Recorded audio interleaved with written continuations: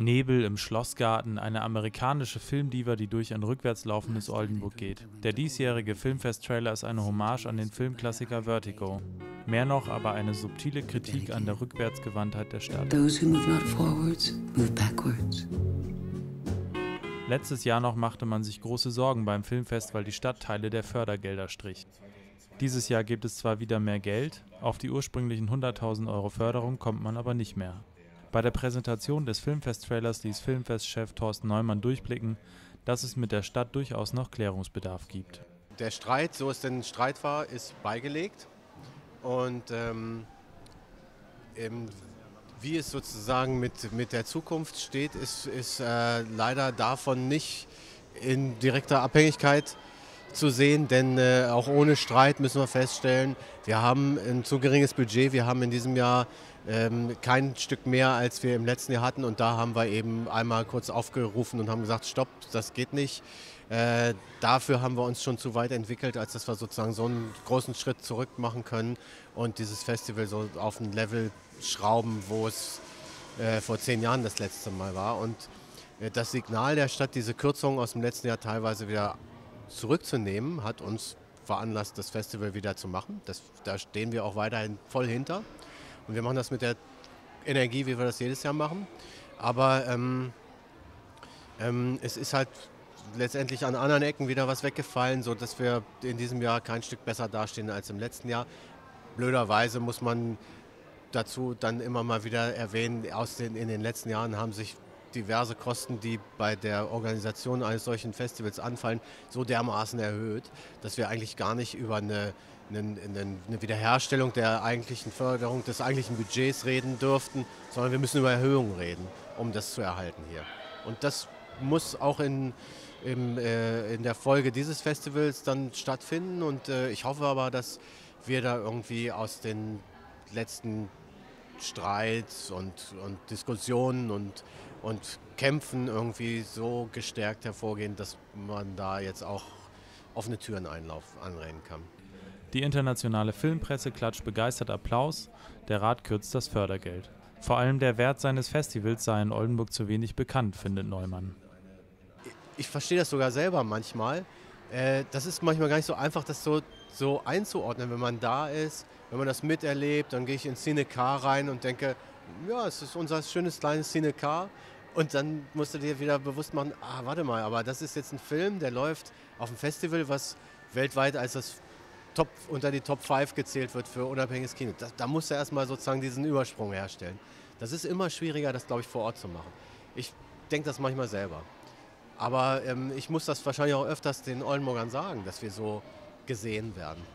Weil wenn man sich mehr in, paar, in bestimmte Filme hier reintraut, und ich sage das so traut, weil es gibt so eine Schwelle, äh, Originalfassung, ähm, ich kenne keinen Schauspieler, äh, da muss man sozusagen die Leute mit hinnehmen.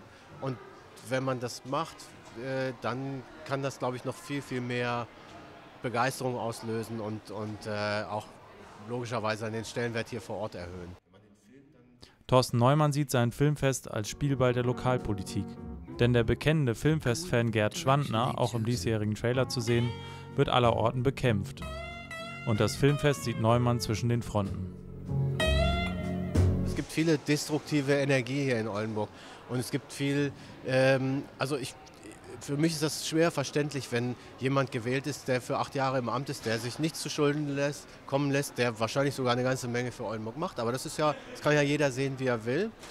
Ähm, dass man äh, seine ganze Energie als Politiker darauf verwenden kann, den außerordentlich abzuwählen. Das verstehe ich gar nicht. Also ich habe das so gelernt, dass Demokratie bedeutet, äh, eine Opposition ist ein dazugehörendes Regulativ irgendwie.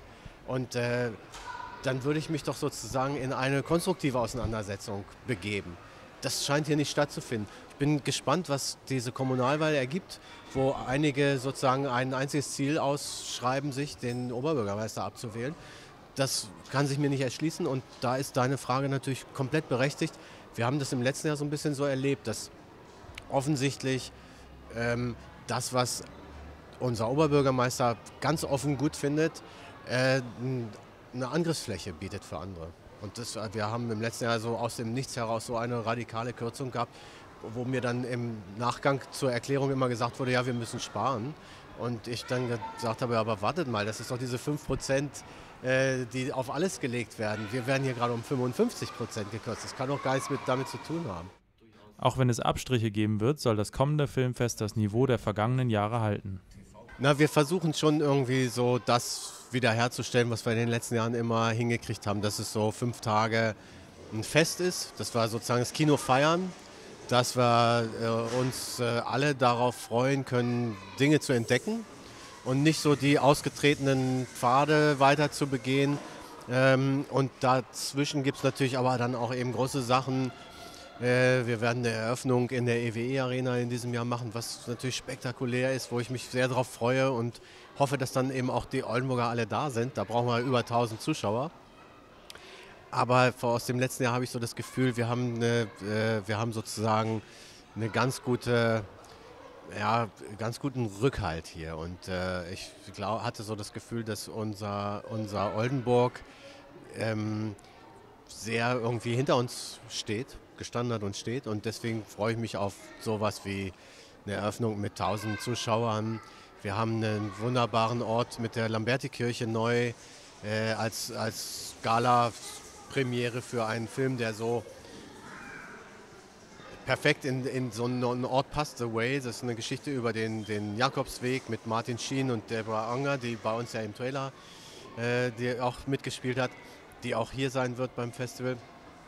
Also da gibt es eine ganze Menge zu entdecken. Ich glaube, es wird wieder so dieses nahe Miteinander von Publikum und Gästen und das äh, miteinander, also die Leute sind alle nahbar und ansprechbar und und das wissen die Oldenburger sind ja eigentlich ein zurückhaltendes, höfliches Volk.